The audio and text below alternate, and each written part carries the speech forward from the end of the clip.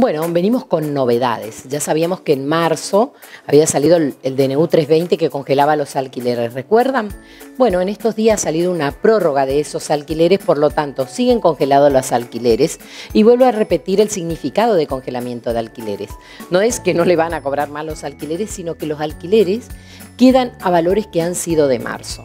Pero si su alquiler tenía que haber variado, en esta etapa no es que se lo quitan, lo quiero aclarar, sino que eso se le va acumulando para cuando usted pueda abonarlo, cuando termine el DNU, se presenta y lo abona.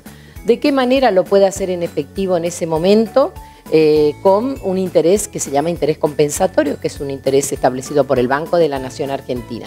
Nos parece muy importante esto para que le quede claro a aquellos que se encuentran dentro de un contrato de locación cuál es el significado real de congelamiento de alquileres. También en el mismo DNU estaba la previsión de eh, que no se podían hacer desalojos. Bueno, esta situación también es así, va a continuar hasta, hasta marzo del 2021, donde nuevamente el Estado va a revisar eh, si podemos o no activar todo lo que sea eh, alquileres y bueno, si lo permite la economía interna.